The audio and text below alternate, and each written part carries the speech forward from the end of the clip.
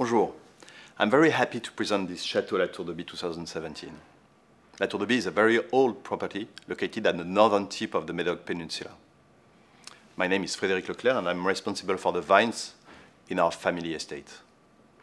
In 1965, my grandfather fell in love with this magnificent terroir of very deep gravel hill slopes overlooking the Gironde River that had always been protected from the spring frost for years.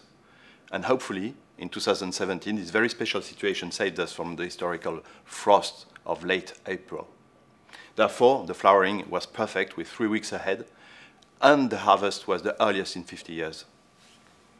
This wine presents a very deep and interesting color, which exhalates a nose made of uh, black currant mixed with uh, floral scents.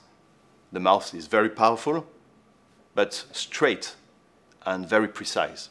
And the tannins are coated, tight, and very tasty. More than ever, in 2017, La Tour de By owes its elegance to the very specific position of its terroir next to the river. And we will be very happy to welcome you in our family estate. Thanks.